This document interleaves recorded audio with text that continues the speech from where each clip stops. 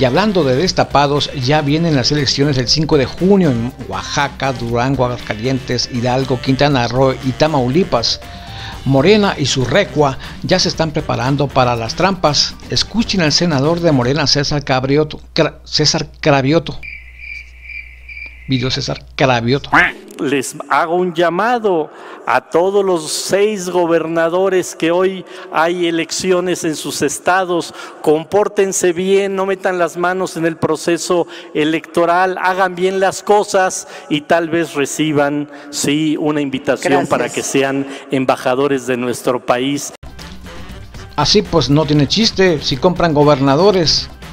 Se muestran confiados en seguir ganando en todo el país porque cuidamos a,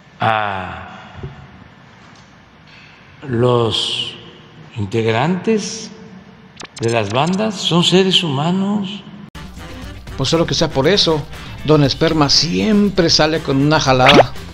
¿Cómo que proteger a delincuentes? Obvio, está mirando del lado equivocado. El presidente, no sabes qué pena me da, lo de que los delincuentes son humanos, pues es una obviedad.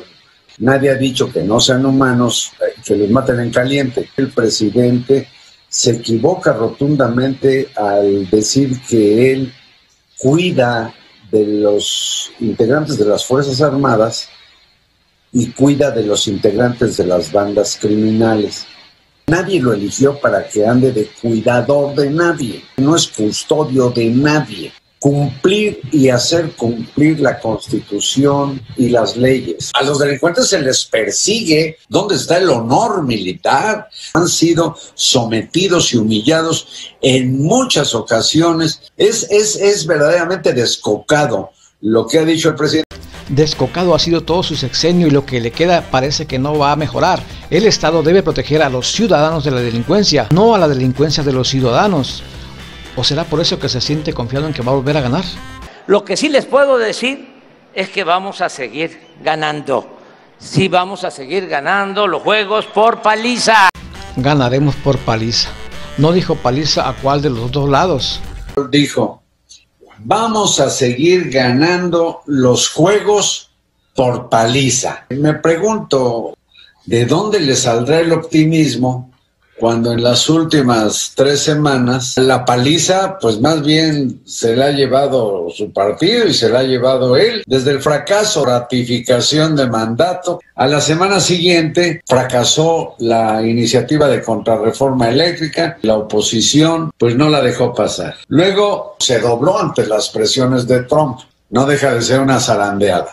Después la petición para que pudieran participar todos los mandatarios del continente, pues no prosperó. Tienen tache dictadores de Cuba, Nicaragua y Venezuela. El optimismo presidencial no tiene dónde apoyarse y si a estos sumas abucheos a uno de sus corcholatas y con problemas con la aceptación pública, Claudia Sheinbaum, pues yo no sé de dónde le sale el optimismo. Más de 3.700.000 clase medieros cayeron ya en los índices de pobreza. Y para acabarla de amolar, con pleitos con los ambientalistas y las personalidades, artistas, etcétera, yo creo que esto de que los juegos los ganará por paliza, pues está por verse.